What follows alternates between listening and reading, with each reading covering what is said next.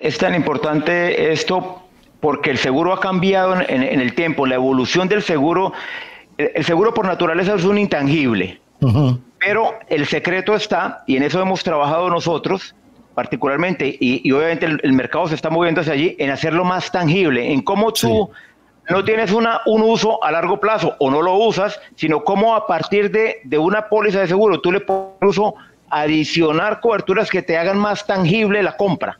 Claro. Eso permite el contacto permanente entre el cliente y la compañía para nosotros estar eh, eventualmente tratando de llegar con más eh, productos que cubran las necesidades del, cliente. Además, eh, exacto.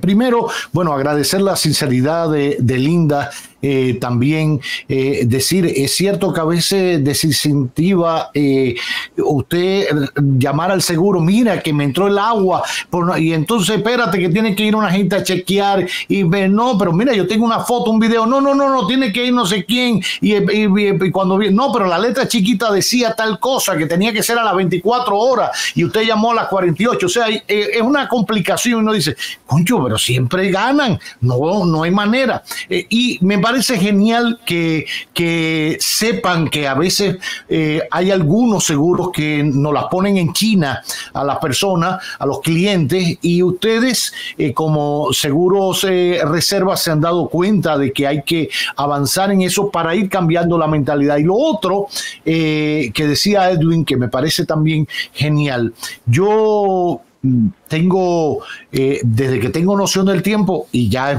hace bastante, ¿no? Eh, recuerdo que mi abuelo siempre, en paz descanse, eh, mantenía un seguro para su vehículo, tenía negocios en Cuba, etcétera.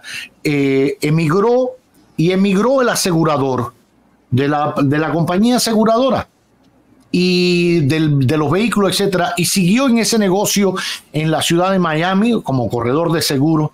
Y mi abuelo por, por, por, haberle comprado una póliza a ese señor cuando vivía en Cuba en los años 50, etcétera, mantuvo la tradición y así lo ha hecho mi madre y lo hemos hecho eh, los nietos de mi abuelo con esa misma compañía aseguradora que se mantiene en Estados Unidos, por ejemplo.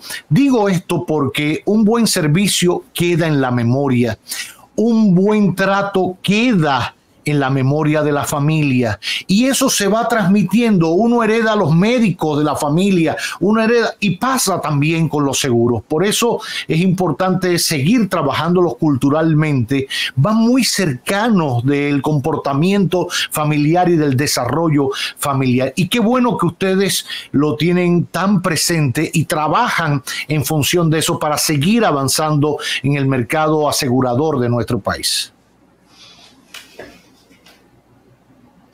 Sí, ciertamente como, como lo indica Roberto, eh, la fidelidad en esto tiene un, valor muy importante. Digamos, la presión del cliente está en cómo la compañía responde en el momento de verdad. Y el momento de verdad es el siniestro. O eventualmente no tienes un siniestro, es, óyeme, se me cayó una compañía de asistencia, tengo que hacer eh, una varada, no fue un accidente, pero bueno, tengo mi compañía de seguros y pienso en función de mi compañía de seguros. Y en eso está el secreto de que la gente permanezca y se adhiera. Y el boca a boca. Es decir, si tú, si tú recibes un buen servicio de seguro, te lo vas a contar a, a cinco. Dicen que el que recibe un mal servicio se lo cuenta a 20. Eh, pero el que recibe un bueno se lo cuenta cinco, no importa. El boca a boca es muy importante y ahí es factor fundamental el servicio que tenemos. Qué bien.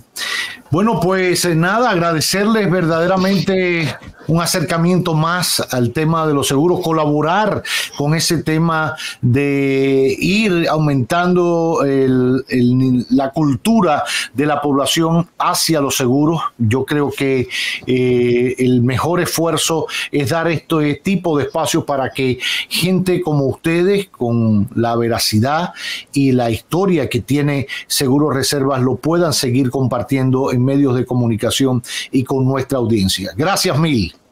Gracias a ustedes por la oportunidad. Gracias. Linda Sánchez y Edwin Durán Trujillo de Seguros Reservas acompañándonos en este magazine que no tiene nombre.